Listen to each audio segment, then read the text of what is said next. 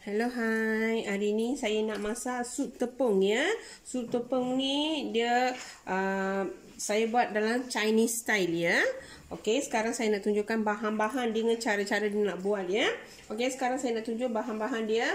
Saya ambil sayur pacoy ya. Yang ni untuk sup ni kita boleh gunakan sayur pacoy, bayam ataupun sayur sawi ya. Terpulang pada masing-masing tapi saya ambil sayur pacoy ya.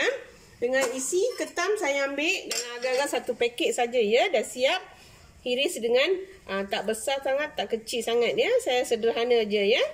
Okey, untuk ni saya ambil isi ayam ya. Dah siap rebus ya.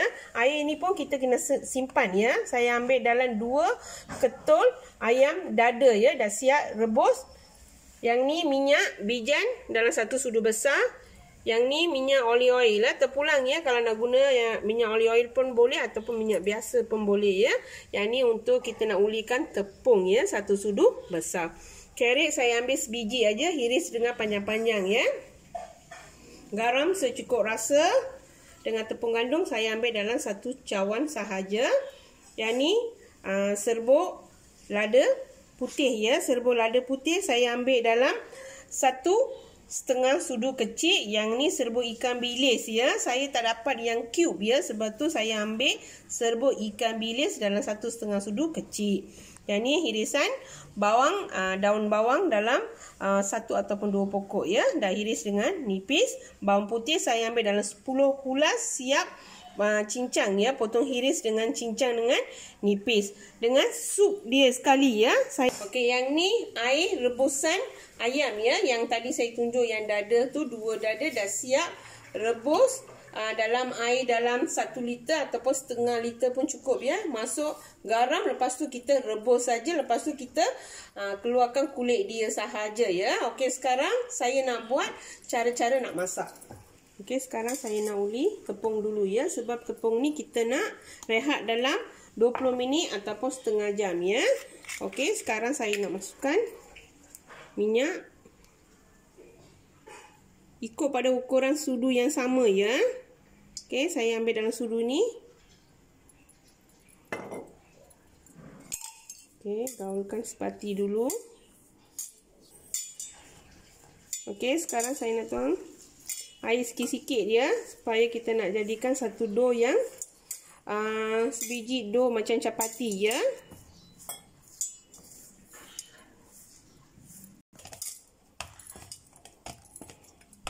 Okay, yang ni tak lekat pada tangan ya. Dah siap dough kita.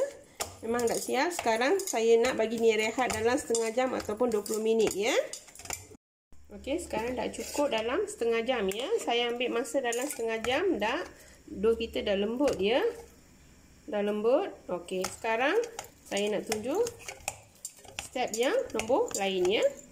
Okey, sekarang saya dah tuang dalam 2 liter ataupun agak-agak saja ya air. Lepas tu kita nak masukkan garam saya gunakan garam pasir ya ataupun garam kasar so minyak dalam satu sudu besar ya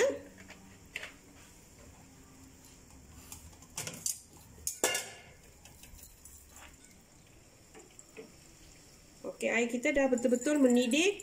Kena betul-betul mendidih ya. Baru kita boleh masukkan tepung. Okey, ambil tepung ni. Kita tarik aja macam ni, jangan terlalu tebal, jangan terlalu nipis ya. Kita tekan macam ni, kita masuk pada uh, air ya. Tarik, masuk. Jangan terlalu nipis, jangan terlalu tebal ya. Okey, macam ni. Okey, tunggu sampai dia nak masak dulu ya. Okey, sebelum itu kita sediakan air ya. Saya ambil air agak-agak saja lepas tu masukkan ais batu dalam beberapa ketul ya supaya yang lepas dah tepung tu dah masak terus kita nak masuk pada air ais ya. Okey sekarang dah masak ya. Sekarang saya nak terus pada air panas ni terus saya nak masuk air sejuk ya.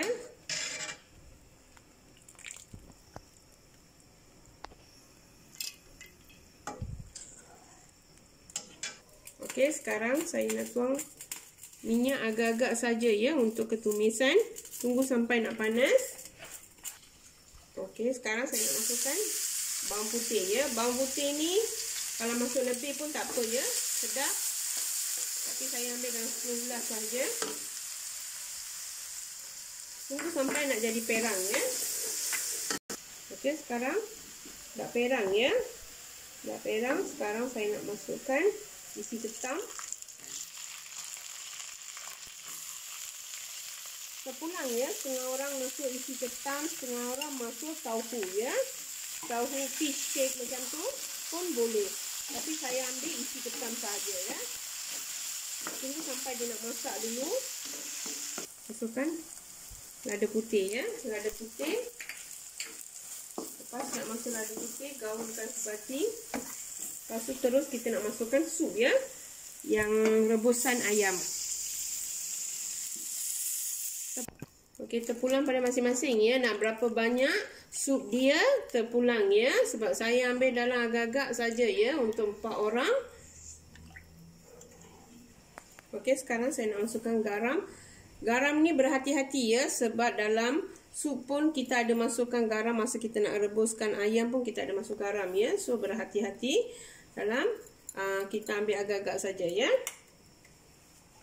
Okey, sekarang dah mendidih. Kita nak masukkan serbu pati ikan bilis ya. Okey, gaulkan sebati. Lepas dah gaul sebati, kita masukkan sayur semua ya. Masukkan carrot.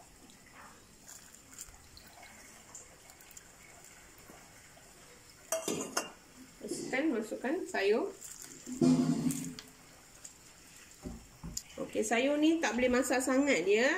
Kita ambil dalam beberapa minit saja ataupun kita ambil dalam satu minit pun dah cukup dah dah layu pun dah cukup ya. Lepas tu last kali ni saya nak masukkan tepung yang tadi saya masuk dalam ais ya. Ok last kali saya nak masukkan isi ayam ya masukkan bawang daun bawang. Okey, satu sudu besar ya. Minyak bijan last kali kita masuk lepas tu tutupkan api ya. Okey. So now saya nak tutupkan api ya. Okey, sekarang dah siap ya. Sup tepung kita memang cukup mudah dengan senang boleh buat ya. Ikut step by step saja ya. Siapa yang belum cuba resipi saya ni, boleh cuba dekat rumah ya. Selamat bercuba.